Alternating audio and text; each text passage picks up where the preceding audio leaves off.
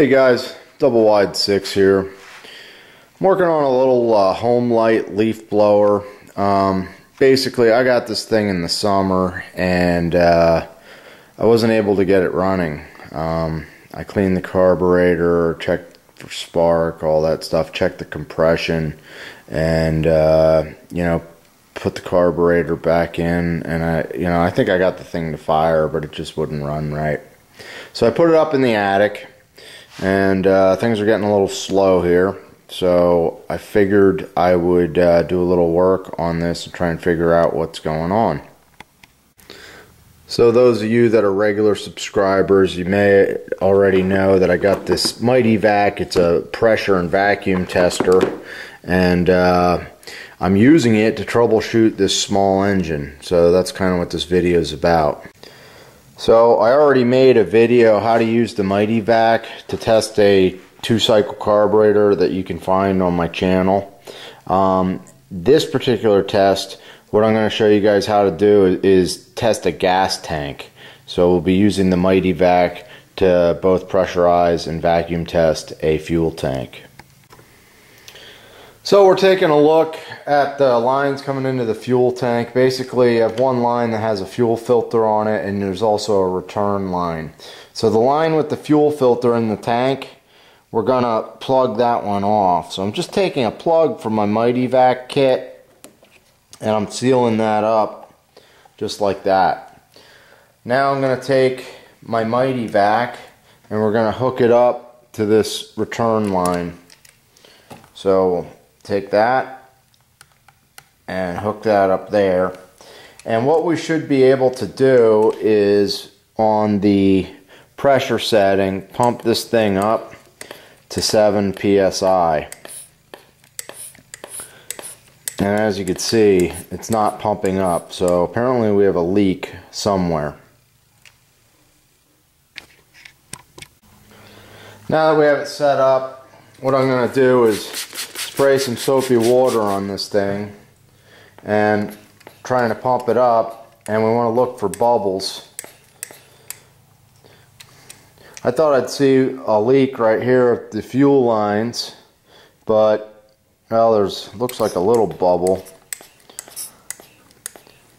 Fuel lines aren't leaking bad, it's leaking somewhere else.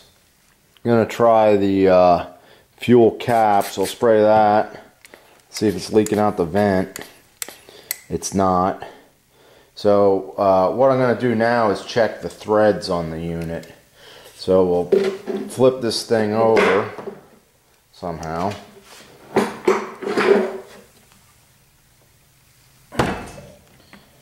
And it's kind of common to have problems with the threads. They get beat up over time. This thing so you soap up your, your cap like that and we'll pressure it. And we found our leak. See how the bubbles are coming out? So there's either a problem with the cap or the threads. So we're going to check that for damage. So I took a rag, I cleaned up the threads a little bit, and they look good. You know, sometimes they're cross-threaded and you get a leak there. Um, Luckily, I have an extra cap. So I'm going to try this cap. This looks pretty good. It's from a Homelite as well. This is the cap that was on there. Doesn't look that bad, but I don't know. Oh, actually, I, there looks like there's a little tear up there up top on that gasket. So maybe that could be a problem. But anyhow, we're going to try this one and we'll see if we can get our 7 psi. Alright, so here's the test with the new cap. And now it's starting to pump a little bit, but it's only getting up to about 3 or 4 psi. And if you look really closely at these fuel lines, I can see they're starting to bubble.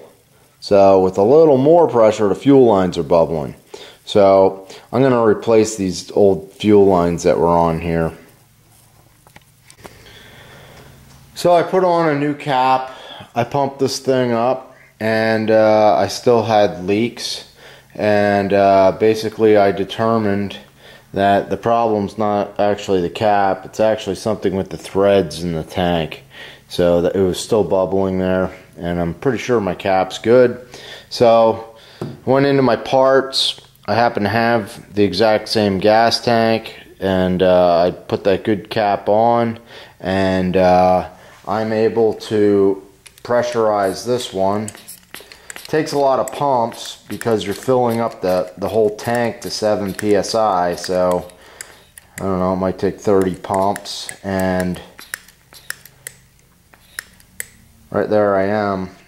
I'm at 7 and it's clearly holding 7 so that's good it's showing me that I have no leaks so our next test is to make sure that we have the right gas cap for the tank and you know it it should release all the air pressure in half to three quarters of a turn. So there you go. I only turned it about I don't know a quarter of a turn, and you could hear all the air release out of there.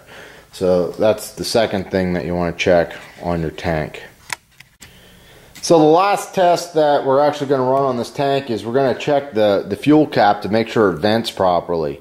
The way these things vent, there's basically a one-way valve here. So air is allowed to enter in through the cap, but any air from inside the tank cannot go out of the cap. So it's a one-way valve there. And basically the way these things work is the carburetor on the unit draws fuel. As fuel goes into the carburetor, air comes into the tank.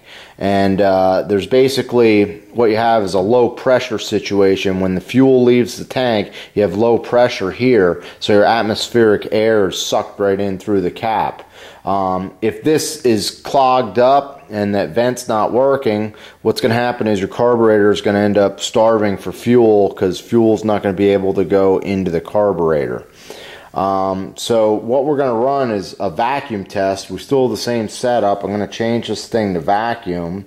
And when I hit the handle, you'll notice that our needle is not moving. It's not creating any type of vacuum. And the reason for that is the cap is venting properly. So everything looks good there. I passed like all three tests that I can do with the tank. And that means that this is a good tank and that is a bad tank. So I'm going to have to switch that up and, you know, run full fuel lines and a fuel filter there. Uh, one other thing to note that's kind of interesting is that your particular carburetor is calibrated as far as the, the, the proper air pressure for your tank. Um, there's a little spring inside the carburetor that uh, adjust the, the needle up and down and that spring is actually fine-tuned to the pressure inside your tank. So it's important that you use the right spring. You don't stretch that thing out or cut it down. Um, and if you have a leak here that's why you can have a, like a fuel problem and your your engine will end up starving for fuel. So you know like I said I cleaned out the carburetor thing wasn't work so uh, you know hopefully this is the problem and uh, we'll get this thing running. I'm going to run uh, one more pressure test on the entire engine um, and uh, I'll show you that in the next video. So anyhow, I'm double wide 6 and uh, I have a bunch of small engine stuff. You should check out my channel if you're interested and please subscribe. Thanks for watching.